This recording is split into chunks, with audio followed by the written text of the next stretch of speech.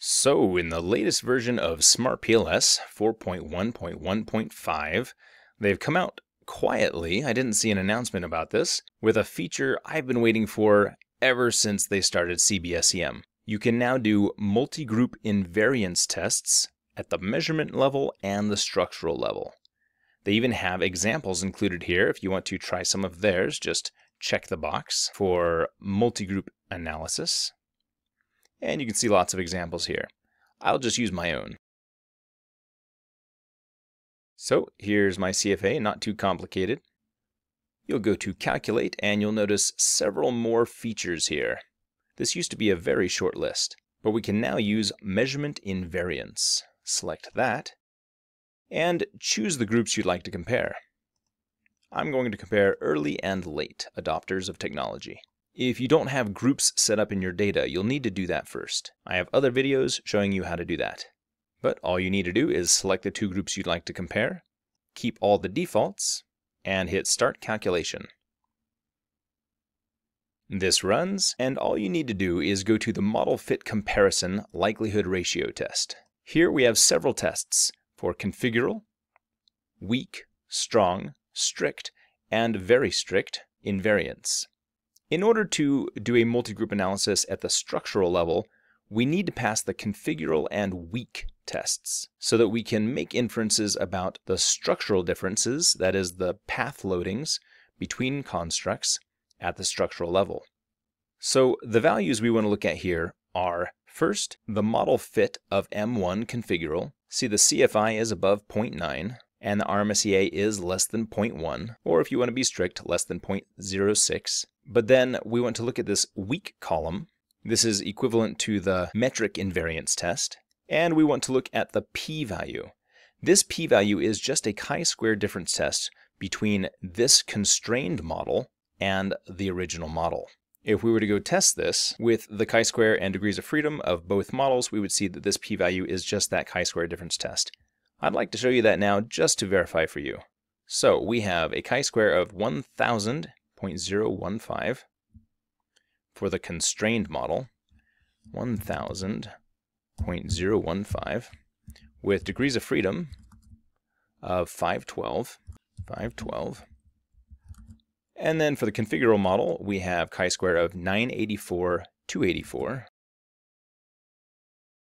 and degrees of freedom of 492.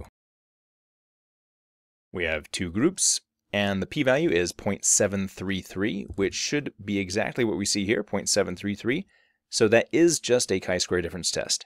And this means that since the p-value is greater than 0.05, that the constrained model does not have significantly worse fit than the configural model, which means the two groups have equivalent regression weights, or they have metric invariance.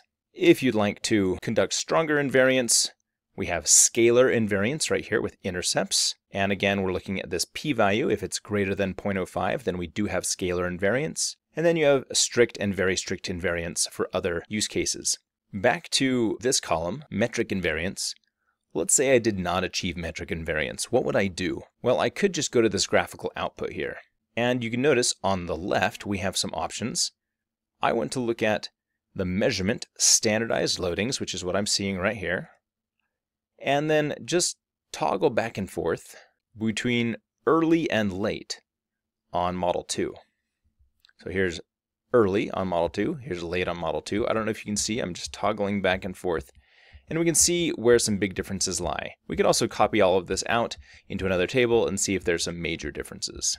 Now, I don't expect major differences because I do have invariance, but we can see if we look at Playful 1, we have for the late group a regression weight of 0.568, and for the early group a regression weight of 0.633. If those were substantially different, I may need to constrain those to be equal and then claim partial invariance. Let me show you how to do that. But let me show you with another loading that is not already constrained. Let's do it with Playful 7. So what I would do is go back, double click this line for Playful 7, and force it to be equal across groups. Hit apply, and then hit run. On measurement invariance again. Same settings. It runs. We go look at that test. Notice the value here has changed, and the p-value has become higher, meaning they're more invariant, more likely to be invariant. And so we have partial metric invariance, if we need to constrain those paths to be equal across groups. You can also take a look at the CFI difference, the delta CFI. The threshold here is 0.01. If there is a greater difference than 0.01, then that means the CFI changed from the configural model to the metric model, and it means the model fit is different. But if that value, the CFI difference, the delta CFI, is less than 0.01, which it is in this case, that means the model fit did not change substantially. So there is no difference, therefore we have invariance.